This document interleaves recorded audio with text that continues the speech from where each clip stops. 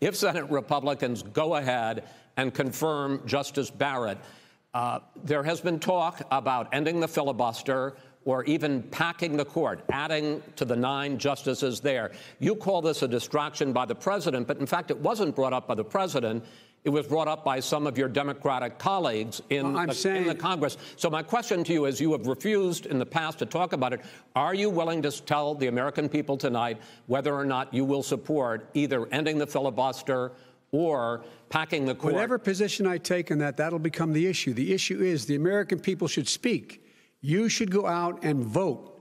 You're in voting now. Vote and let your senators know how you strongly you feel. court? Let vote now. gonna pack the Make court? sure you, in fact, let people know He doesn't wanna you're a answer the senator. question. I'm not going to answer the question Why because wouldn't you answer that because question? the You wanna question a is lot of the new question Supreme is Court justice, the radical question- left. Will you shut is up, on, man? Listen, who is on your list, Joe? This Who's is on your so list? right. Gentlemen, This is- I think This we've is ended so this. He's gonna pack the court. We is have, end, I'm no, not no. gonna give a list. we have ended this segment.